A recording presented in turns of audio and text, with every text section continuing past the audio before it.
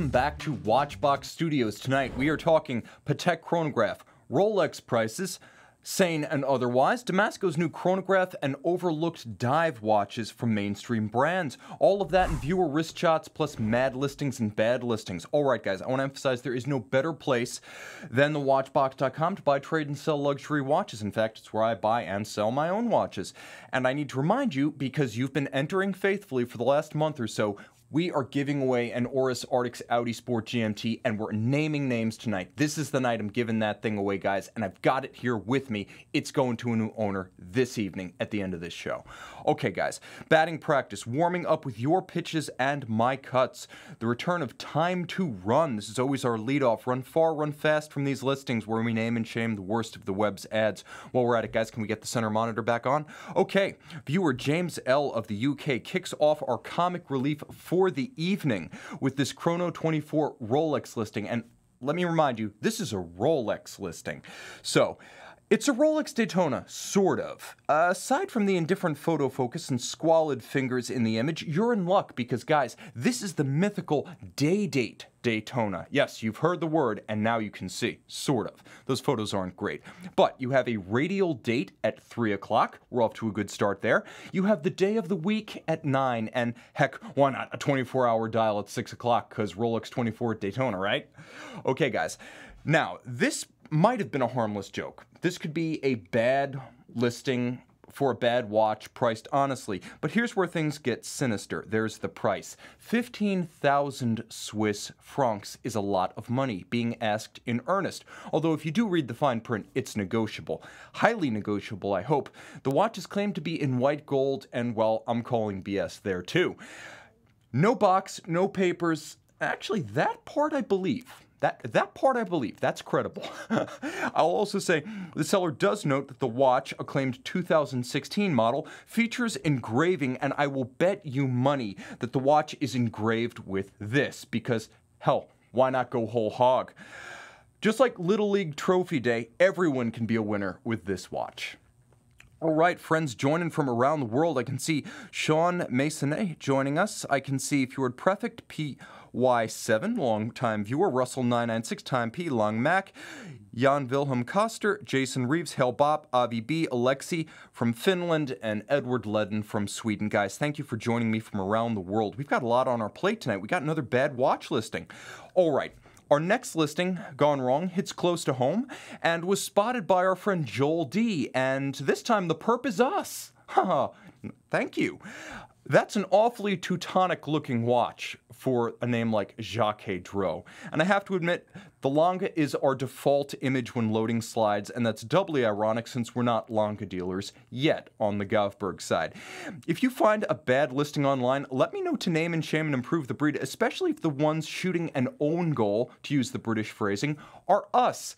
You guys are like my crackers and hackers finding all of the flaws in the system. You are improving the breed, and I couldn't ask for a better group of QC testers. Okay, help me name and shame and improve the breed. Across the web, send your bad watch listings to mondaymailbag at thewatchbox.com. Torsten L leads off with our viewer questions. Tim, has Rolex become overpriced? This is a great question because it has two answers, not one. Yes and no you get a ton of refinement for the MSRP of any given Rolex. That's GMT, that's sub, that's Daytona. Consider a favorite of mine, the Explorer 2 216570 Polar, the white dial Explorer 242. 8100 new, available used all day long, including just a few months old for between 7500 and 8000. This is a 5-year warranty, epic toughness, one of the world's best dials and bracelets. The solidity of a Rolex steel bracelet rivals gold from any other brand. And remember, resale strength for this watch, which basically sells used for what it costs new, is honest and solid. Uh, but things start to get nutty with other models. There we go, my guys just got the center monitor back up. now I can see what you're seeing. So things start to get nutty with other models in the pre-owned Rolex space. Let's discuss the green sub, because this is where we start to see watches selling used used for more than they cost new. So five years ago, these sold pre-owned for less than list, and today the list is $9,050. Wait lists stretch to years, and the going price for a model in production since 2010 model year is anywhere between $10,000 and $13,000 depending on condition, accessories, and warranty remaining. Now, this is still a solid place to put your money. You're going to pay a premium to buy it used, but it's still a solid place to put your money. I think even buying at 13,000, you're never really going to see this shed value even if there's a market reversal, even if the top of the bubble bursts. This is a foundation watch at a reasonable premium above list. Now, real problems start to emerge when we discuss pre-owned steel ceramic Daytonas and the new steel Pepsi GMT. This is where we start to go, to use a phrase lately in the news, to crazy town. As discussed, retail price remains reasonable for the Daytona and the Pepsi GMT at 12400 for this watch and 9250 for the new Steel Pepsi. But pre-owned has become a bubble, and I'm not going to lie about this. We have an interest in selling these pre-owned, but I'm going to be honest about pricing. We sell new and pre-owned on the Govberg and Watchbox sides, and this is one time where I'm going to say you're better off buying new. First, paying double retail, which people are for both of these models, is simply crazy it's nutty. It's I got to have it first on the block, but there will be a hangover economically. And the Milgauss GV in 2007 is the closest thing I can compare to what's going on now with the steel ceramic Daytonas and those Pepsi GMTs. This thing back in 2007, at the height of the subprime mortgage boom and the green glass Milgauss craze, went for twice list on secondary markets. Do you know anyone paying twice list for that watch today pre owned? No like I said, this is the time to get on the wait list, suck it up, buy new, and pay list, because you'll never lose if you do. If you pay double, Godspeed. Okay. Moving forward, I want to say that scarcity isn't a problem with the steel Daytonas, and the Pepsi GMT is likely to follow right now there's real inventory. If you go on Chrono or you go on eBay, you can find real photographs of dealer inventory in steel ceramic Daytonas. There are lots of them out there. Everyone asks crazy money. Uh, think 1989, 1990 with the Ferrari F40, a bargain at 150 grand new. At 1.5 million, you're going to lose your money for a generation if you bought that car at peak. You've got your money back today, but you really want to hang on to a supercar that you rarely drive for 30 years while paying insurance and maintenance. There are costs. When you're at the top of a bubble, there's no place to go but down. And right now, like I said, buy new or just buy a different model. Okay, Paul F asks, and I can see we've got a lot of friends joining right now. Uh, Jason Reeves saying, I won't pay list for Milgauss, nor should you. You can buy them pre owned at considerable discount. And right now, Matt Foster, change drinking game to Rolex or FP Journe. Yeah, you know, I haven't mentioned much JLC on the show lately. I'm not even wearing JLC tonight. You guys are going to have to come up with a new scheme to get drunk while I talk. Paul F asks, Hi Tim, whatever happened to the Omega World Time watch? Okay, guys, a quick rewind here. This was one of Omega's annual super watches in platinum, a small family of limited editions that grows each year, never by more than a few dozen pieces for every model year. In the shadows of Omega's mainstream Basel releases, these are often watches announced before or after the show. And the insane 2017 Seamaster Aquaterra World Time might go down in history as the most ambitious and extreme member of this club. It was a late 2017 out of cycle, out of the blue release with very little press. So 87 pieces were made, or they claimed 87 pieces were made, with the world time complication displayed on a dial made of solid platinum and cloisonné grand feu enamel. This was genuinely impressive from a mainstream brand. This was Omega doing a Patek 5131. Now, I'll say this Omega's home city of Bienne displays Paris from the world time ring, and yellow gold was used exquisitely. This is how you use yellow gold on a modern men's watch to garnish the dial. All of that said, the most intriguing fact is that they made 87 examples of the unique caliber 8939, which leads me to believe there must be a world time Aquaterra coming, because I can't believe they would make only 87 movements at Omega, a company that does everything in the hundreds of thousands. So Today, the watch remains cataloged. The question is, what happened to it? The watch remains cataloged today by Omega at $48,600. So for all intents and purposes, Omega is still advertising this as a thing you can buy new. And I'm guessing they still have some examples. This is one of the watches, one of the few watches I would bet Omega only makes to order. Probably a few pieces for flagship boutiques and everything else by request. That's a heavy load to keep in the case without a buyer secured. And I'll also say this not only does Omega continue to offer it with a price, but they have it mocked up on their website with a NATO strap. I love it. I actually think it looks better on the NATO strap. For those of you who want to go Panerai tack war with a solid platinum complicated Aquaterra, here's your chance. For the marginal cost of adding the NATO, it's practically a steal. Now, for once, I'm not 100% certain that this is a watch that exists, but if you order it, I know Omega will hand deliver. Okay, by the way, guys, the Aquaterra has been a hell of a platform for standard three hand dates, annual calendars, GMTs, chronographs, regatta timers, and now world times. It is the everything Seamaster. Okay, viewer wrist shots. Philip C. kicks off with the rare and exotic white gold Patek Philippe Aquanaut Anniversary 5168G, 42 millimeters white gold blue gradient dial, and impeccable taste of poolside entertainment. We are now officially the Patek Philippe of live streaming watch shows on YouTube. Thank you so much, Philip. I want to add Josh B. shares a slick khaki clad Aquaracer Caliber 5. I love the green NATO. It looks sharp. I could wear one of those myself. Josh B., I salute you. Raphael C., next up travels in style with his JLC Master Home Time. Not only a versatile watch, but the caliber inside there, the 975, is the toughest and most modern JLC sports watch caliber you can buy.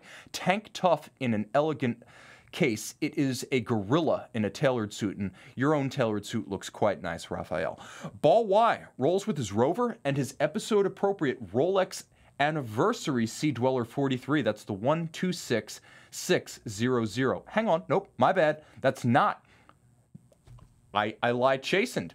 No, actually, I am. I'm sorry. I'm going colorblind. That is, in fact, the anniversary Red Sea Dweller 43. It will recur. You shall see that again in this episode. Okay, send your wrist shots to Monday Mailbag at thewatchbox.com to see your pieces on these pixels, guys. All right, jumping back now.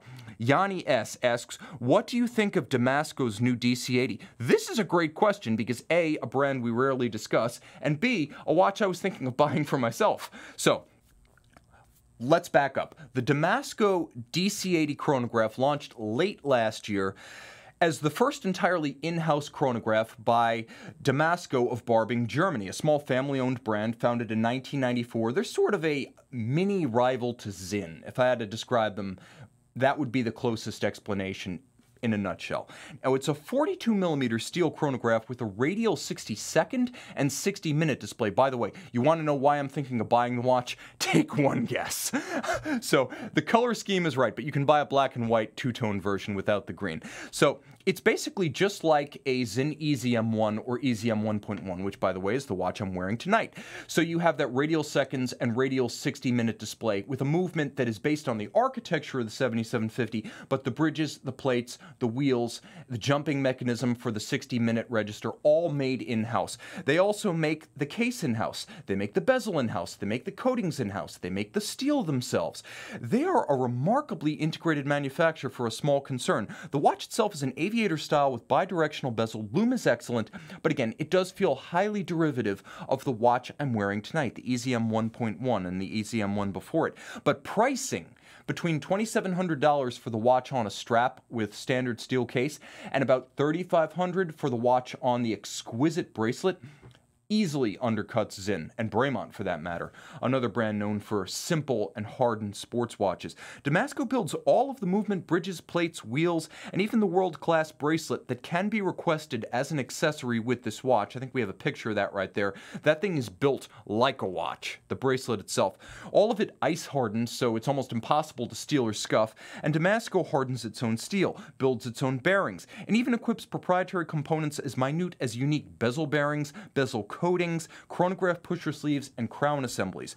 But, and here's where things tar- start to take a bit of a dark turn, and I gotta warn you small brand, scattershot customer service, especially abroad. Quality control and service questions do seem to dog this company, and this is where I get a little bit nervous recommending it and choosing it for myself. One crank on the internet complaining is nothing. Disregard that. And occasional horror stories can be dredged up on forums for every brand ever, but there does seem to be something enduring and chronic through the years and across forums over many different usernames about customer service issues at Damasko, and it seems to affect many regions, not just one nation or continent.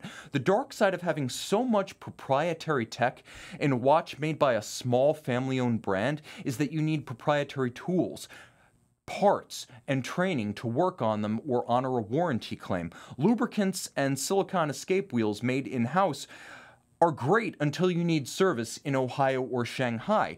And the one variable with Damasko customer service, from what I've gathered through research, seems to be the quality of the independent distributor for the brand in your region. Like a bunch of small manufacturers, Damasko does not entirely control its distribution abroad. So unless you live near Barbing or Regensburg, Germany, where they have their factory and mono store respectively, that's the mono store, and can deal directly with Damasko, I consider any phone call to your local Damasko distributor as you would a hiring interview. Ask probing and revealing hard questions.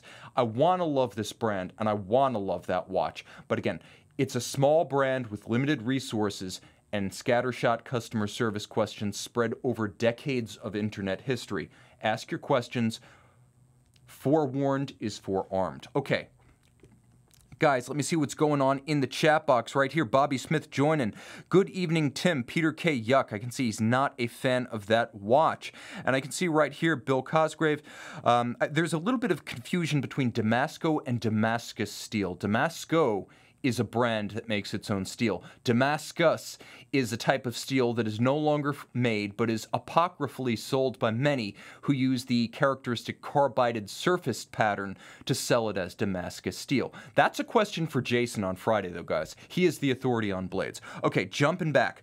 We have a question from Ronnie D. asks Hi, Tim. My dealer has given me a shot at a Patek Philippe 5968, that is the new Aquanaut chronograph on waitlist, front of the line, however, on the waitlist, or I can accept an existing pre owned dealer's offer of a Nautilus 5980 1A in steel with blue dial for $75,000. Which would you accept and why? Well, let's be let's be clear. First, let me give you your your facts of the matter. They're both great options. If you buy the Aquanaut, you're going to wait about a year and a half, and you're going to pay forty-four thousand dollars. If you buy the Nautilus, you're going to get it now, but you're going to pay seventy-five grand for a pre-owned watch. So let's talk about what each offers. Okay, the Steel Patek 5968 Aquanaut chronograph launched at Baselworld this year. It was the big splash for Patek Philippe on the tool watch side, easily eclipsing the perpetual calendar Nautilus. It's the first Aquanaut chronograph, and the wait lists are in fact very long, stretching to years. The Nautilus 5980-1A, the steel version of the Nautilus chronograph, launched in 2006, and by 2013, that party was over, so they're not making any more of them.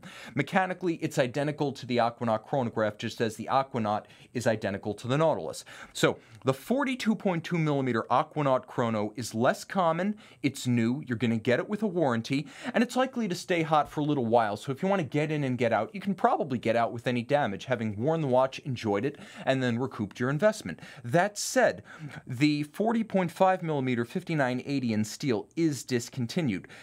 It is still a hot watch, despite being old, that trades far above list. And it's going to stay that way. Just as the Aquanaut is likely to stay hot for a while, this is probably going to stay hot forever. And they're not making any more of them. It wears far more easily, too, on a wrist below 17 centimeters in circumference.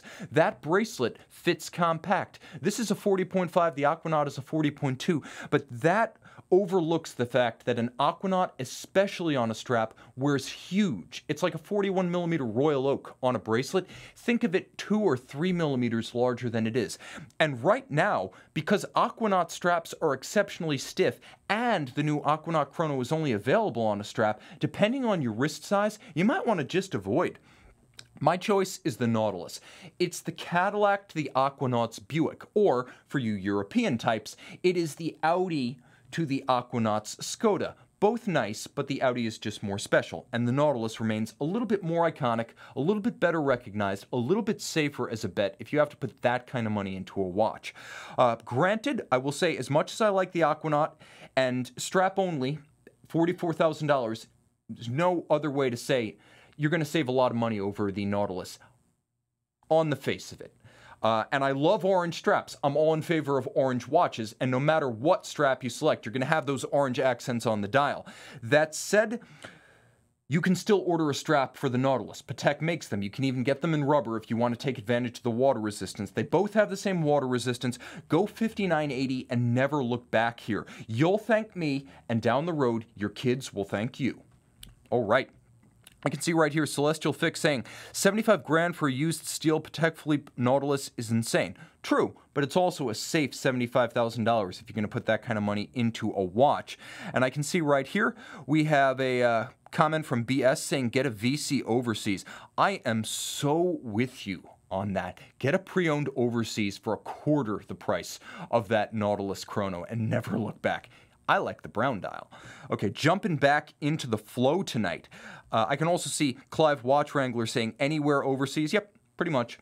Okay, primary feature mainstream brands overlooked dive watches. So we're taking mainstream blue chip brands and we're taking a mainstream product class, but we're looking at overlooked models that I think deserve a second look. Tonight we're talking about Omega, Rolex, and Breitling, but we're not discussing the it watches of the moment. At Omega, we're not talking about the 25th anniversary SMP Diver 300 meter. At Breitling, we're not talking about the Navitimer 8. And at Rolex, we're not talking about the redesigned Sea Dweller in the dive class, the deep sea Sea Dweller, I should say, or the Pepsi GMT. Dive watches, though, here's the thing. Dive watches are the single most popular class of watch. And in the luxury marketplace, they could be called the all arounder the one you wear to the office, uh, the boardroom or the boardwalk, the business suit, or the bathing suit. And these are the divers that get lost in the undertow. And here's why you need to reconsider them for your wrists. Remember, guys, tonight we're not talking about whether you should get on dealer waiting lists now to have your unborn child's college graduation Pepsi GMT ready for the class of 2042. These are all watches flying under the radar and more or less available. The Omega Seamaster 1200 meter needs some love from you guys. Let me explain.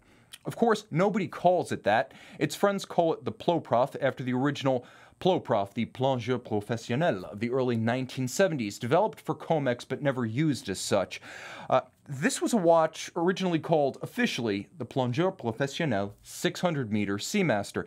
Now, today, the Ploprof is on paper the flagship of the Seamaster collection, but it seems to vanish alongside the mainstream Planet Oceans, the hype of the James Bond SMP 300 meter divers, and the more accessible nostalgia play of the Seamaster 300s and the versatile Aquaterras.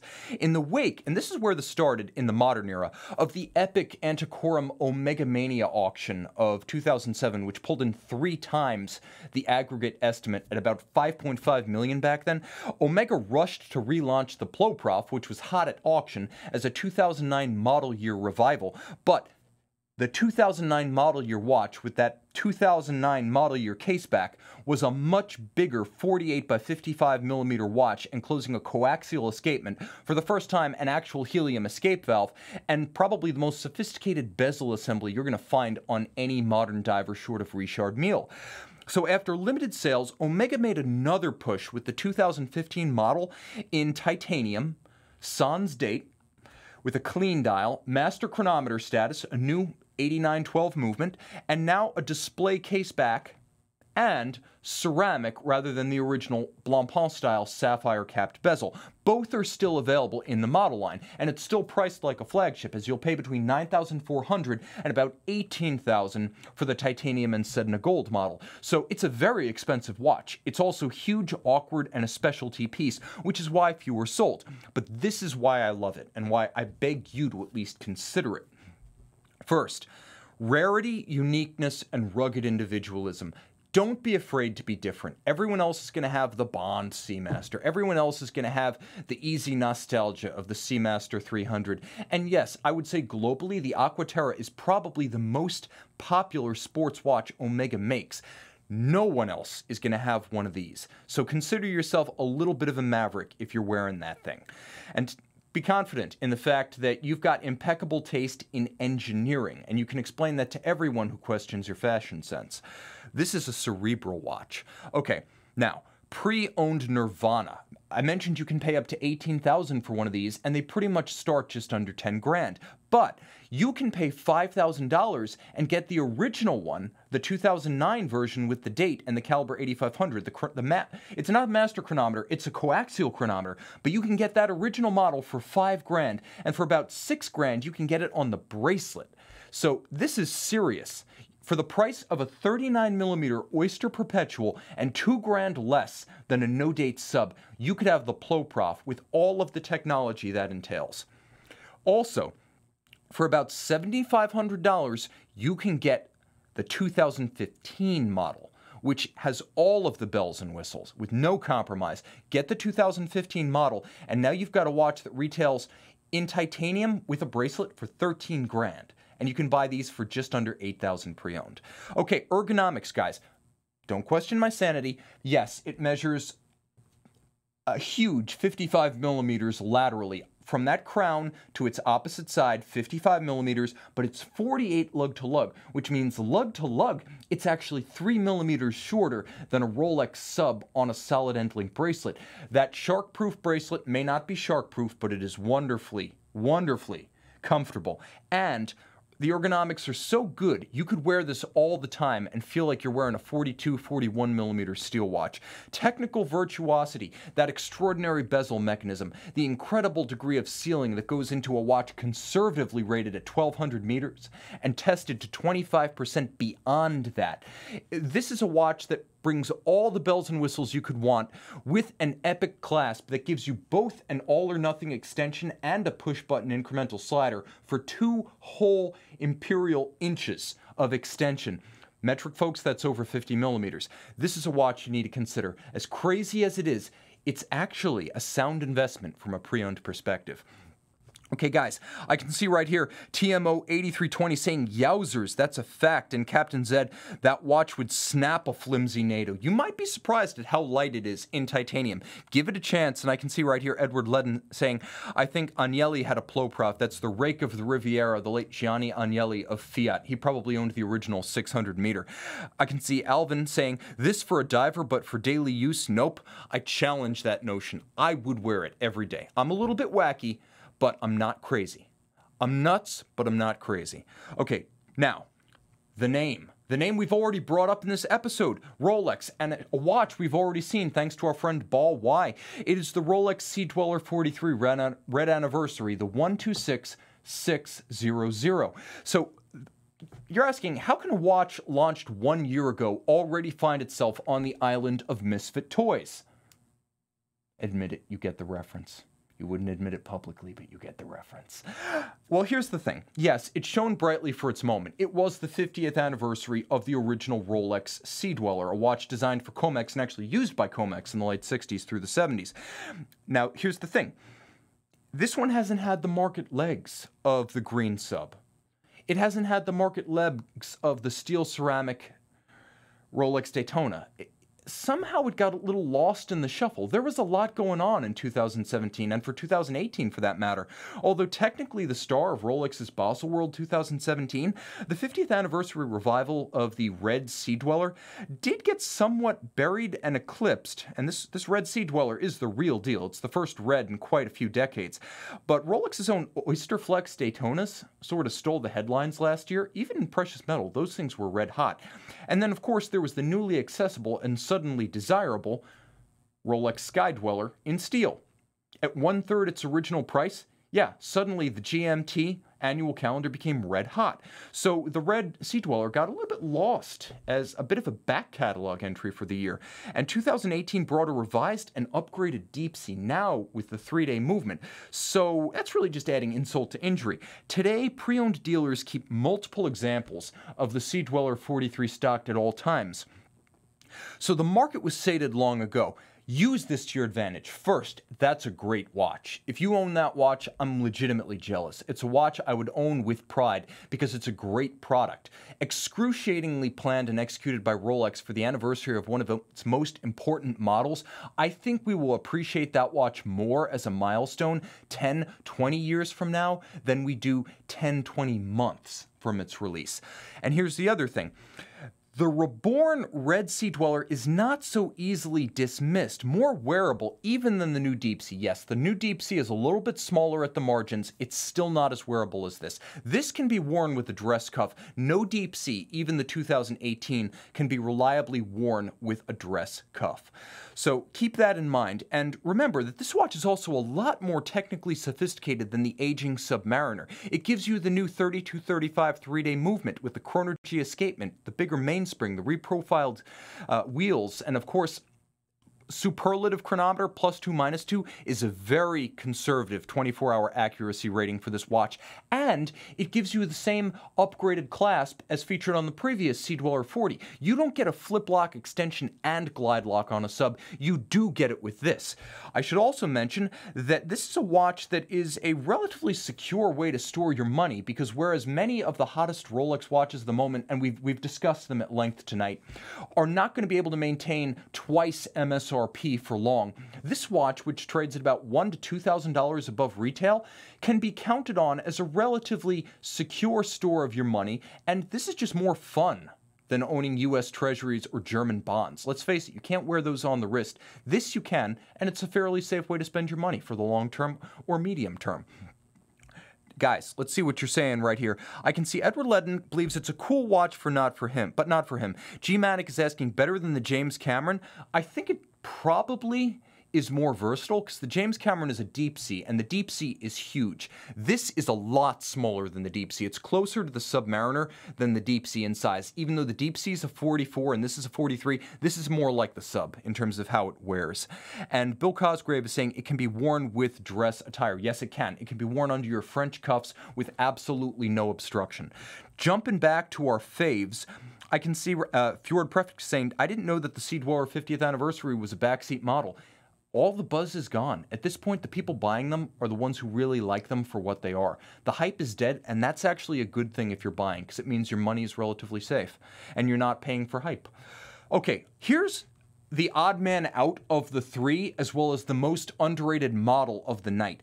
Breitling as a brand is having a little bit of trouble these days staying neck and neck with its traditional rivals Omega and Rolex, but we're not going to discount it from the traditional big three. Tonight we're talking about the Breitling Super Ocean 244mm, a watch that in its latest iteration vowed at Baselworld 2015. Right now, the Super Ocean Heritage is Breitling's best selling model. And I have to admit, this undersold Super Ocean 2 is not part of the Super Ocean Heritage line, so it's not one of the cool kids. Don't discount it. The 44mm Super Deuce is a much tougher basher of a watch than the previous two models we've discussed tonight. It's a watch we would love to death if the dial said made in Germany. Admit it, we would. And here's why. At $4,150 on the bracelet, under 4 grand on the strap, the model isn't trying to rival Rolex or move upmarket to tackle the Omega Planet Oceans.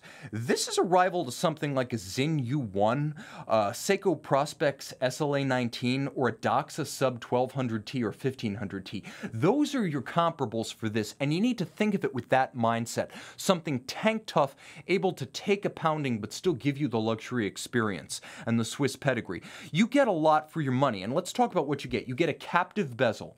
So what's a captive bezel? It's a bezel that is not snapped on but held in place by screws that go in laterally. Sinn uses it to great effect and you'll find it here. Whereas Sinn gets a lot of credit for all of its technologies like tough bezels, Breitling rarely gets a shout out for using the exact same design on everything they make with a rotating bezel. So you've got that going for you. You've also got a monstrous case. When we actually do our water testing of these in our intake in our watchmaking department, we have to use an incompressible case setting on the water tester because the water tester works by compressing and decompressing the case. And on Breitlings, it can't get any give. That's how solidly these are made. All of the water resistance ratings are conservative. Also, consider a chronometer movement based on a 2824 ETA, but it's the highest grade chronometer spec, which means that you're getting Swiss precision at the highest level and it's serviceable anywhere. We talked about the problems with Damasko and their new DC80 Chrono. Great technology, proprietary everything on the inside, but really only they're equipped to service it. Not the case here. A first year watch student in China could service this thing and make it run COSC. Now, 1,000 meter rating with a helium escape valve. Do you need a 1,000 meter dive watch? Probably not, but Whereas Rolex would sell that kind of thing as a feature and an upgrade over its standard sub, you don't get either with a Submariner. Breitling gives it to you standard on the Super Ocean 244, and I think we need to acknowledge that. A watch that's tougher at 1,000 meters is going to be tougher when you beat the crap out of it on your desk. When you hit that ultra thick crystal and that captive bezel against a doorknob, it's going to come back to you in one piece. That's the advantage of having a watch overbuilt for the deep that you're going to wear on the surface. And finally, a comfortable bracelet that won't let go. It's the Pro 3. The Pro 3 bowed in 2012 it's the asymmetrical link slash cut. It's not sophisticated. What it is is tough, durable, and comfortable. And all of those sound like the perfect recipe for a tasty dive watch solution. Finally, guys, everything comes down to money. And you can buy these Super Ocean 44s all day long for $2,600 to about three grand. $2,600 on a strap, 3000 on a bracelet pre-owned. All of a sudden you're lining it up against watches that you would never ordinarily compare to a Swiss-made chronometer. And it deserves your respect for that reason. Is this the finest luxury diver? No. Is it a good one? Nope. It's a great one. Okay, guys, right here, best article of the week.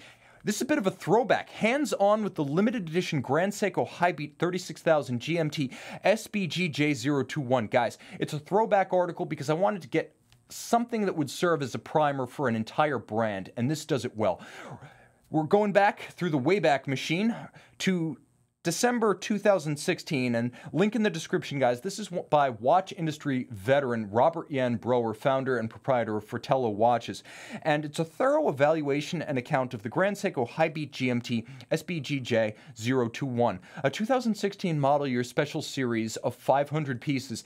Everything you ever wanted to know about why folks love Grand Seiko and what makes the brand different is contained in this five minute read. So, in addition to being a showcase for the watch by one of the the greats in watch journalism, it's objectively also a great showcase for Grand Seiko as a brand. I'll also say this Robert Jan's article is a quick and focused quickie. If you're on the train, if you're commuting, he employs few but excellent photographs to illustrate lavishly the exotic rotor in oxidized titanium and tungsten carbide. He shows you the exceptional case finish, the Zaratsu polish you've heard of, the tin plate polishing.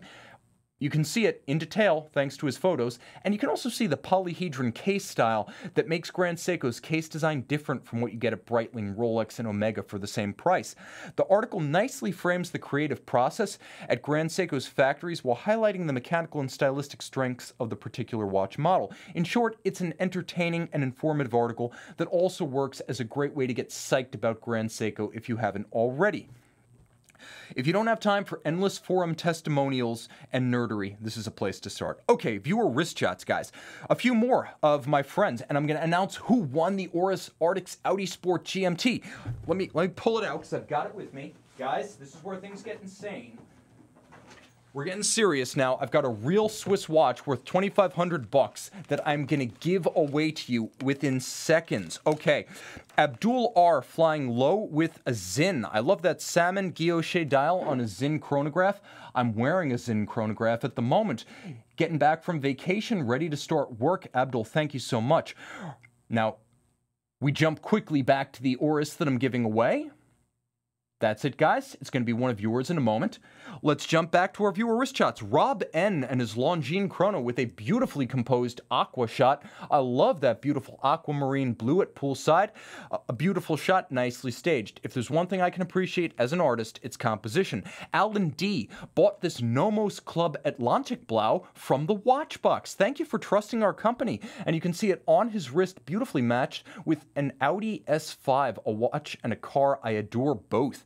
Uh, Trim D of Denmark specifically noted in his email of this wrist shot that he has no Audi or Benz, but I give enthusiastic plaudits for his choice of a green Rolex and bicycle. You know I love bikes and green for that matter. Okay, send your wrist shots to mondaymailbag at thewatchbox.com. Now, I'm about to give an Oris and a very cool Oris Field Compass itself a $50 value, out to one of our viewers. And the winner of our sweepstakes among 9,731 unique entries is Cam Nadeau from the UK. Cam, thank you for following us. I think I recognize your name from the chat box. You actually found us and this raffle through YouTube. Guys, if you didn't win, first, thank you for entering. Second, there's going to be another watch right after this one. And again, let me give you a quick look at what you've won.